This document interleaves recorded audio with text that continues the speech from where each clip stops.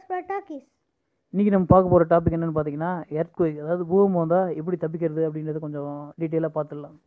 தமிழ்நாடுக்கும் எர்த்குவிக்கும் இந்த சம்மந்தம் இல்லை நீங்கள் பார்க்கலாம். தமிழ்நாடு எர்த்குவிக் சோனில் தான் இருக்குது.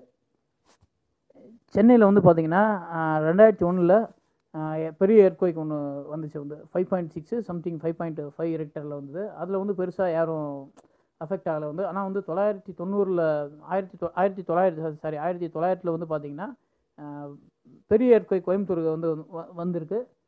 அந்த எர்த்குவேக்கில் வந்து பார்த்தீங்கன்னா ஏழு பேர் இறந்துருக்காங்க. அந்த இப்போ சயின்டிஸ்ட்லாம் என்ன சொல்கிறாங்கன்னா அது திரும்பி வரலாம் அப்படின்றது சொல்கிறாங்க சரி நம்ம இப்போ வீட்டில் எர்த்குவேக் வந்து வீட்டில் இருக்கும்போது எர்த்குவேக் வந்தால் இல்லை ஆஃபீஸில் இருக்கும்போது எர்த்குவேக் வந்தால் என்ன என்ன பண்ணுறதுன்றது ஃபஸ்ட்டு பார்த்துடலாமா ஆஃபீஸில் இருக்கும்போது இல்லை நீங்கள் வீட்டில் இருக்கும்போது வந்ததுனாக்கா நீங்கள் ஃபஸ்ட்டு விஷயம் என்ன ஞாபகத்தில் வச்சுக்கணும்னா பயப்படக்கூடாது.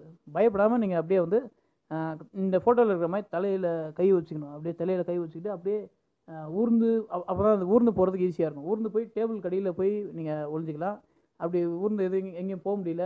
அது உங்களுக்கு கஷ்டமாக இருந்துச்சு அப்படின்னாக்கா சேர் எடுத்து தலைமையில் வச்சு கவர் பண்ணிக்கலாம். இல்லைன்னா பெட்டில் படுத்து தூங்கிட்டு இருக்கும்போது வந்தால் நீங்கள் எந்திரிச்சு போகணும்னு அவசியம் கிடையாது. எந்திரிச்சு போகிறதுக்கு உங்களுக்கு டைம் இருக்காது. நீங்கள் அந்த மாதிரி நேரத்தில் வந்து தலையில் வந்து இதை வச்சு பில்லை வச்சு கவர் பண்ணிக்கலாம் வந்து. ட்ரைவ் பண்ணிகிட்டு இருக்கும்போது எர்த்குவிக் வந்துச்சுன்னா பில்டிங் பக்கத்தில் நிற்காம காலியான இடத்துல இருந்துங்க எர்த்குவிக் நிற்கிற வரைக்கும் காரை விட்டு இறங்காதீங்க. அதே தான் ஃப்ரெண்ட்ஸ் நாங்கள் நடந்து போகிறவங்களுக்கு சொல்லுவோம். நடந்து போகிறவங்களும் வந்து பார்த்தீங்கன்னா நீங்கள் இதே பண்ணால் போதும். பில்டிங் பக்கத்தில் எலக்ட்ரிக் வயர் பக்கத்தில் நிற்காம காலியான ஒரு இடத்துல நின்னீங்கன்னா நீங்கள் சேஃபாக இருப்பீங்க. நடந்து போகிறவங்களுக்கு ரெடியாக இருங்க. கையில் மெடிசன் கிட் வச்சுருங்க.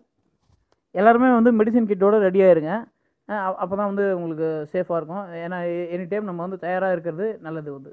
அப்புறம் இந்த டெக்னிக்கில் வந்து ஒர்க் ஆகுது.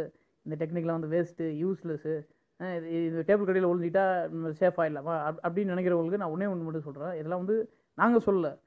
பெரிய பெரிய எக்ஸ்பர்ட் சொல்கிறாங்க அதாவது ஜப்பான்லேருந்து தப்பிச்சு வந்த அது எர்த்குவேக்லேருந்து ஜப்பானில் எர்த்குவேக் வந்தப்போ அதுலேருந்து தப்பிச்சு வந்த எக்ஸ் அவங்களாம் வந்து இப்படி தான் தப்பிச்சு வந்தாங்க. ஸோ அவங்க சொல்கிறத விட வேறு யார் சொல்கிறது கரெக்டாக இருக்கணும்? இப்போ இப்போ நீங்களே யோசிச்சு பார்த்துங்க ஓகே ஃப்ரெண்ட்ஸ் இந்த வீடியோ உங்களுக்கு பிடிச்சிருந்தா கமெண்ட் பண்ணுங்கள் ஷேர் பண்ணுங்கள் சப்ஸ்கிரைப் பண்ணுங்கள் லைக் பண்ணுங்கள் ஆ ஓகே ஃப்ரெண்ட்ஸ் அப்புறம் ஏதாவது உங்களுக்கு ஏதாவது டவுட் இருந்ததுன்னா கமெண்ட்டில் கேளுங்க. நான் உங்களுக்கு வந்து எல்லாத்துக்கும் ஆன்சர் பண்ணுறேன்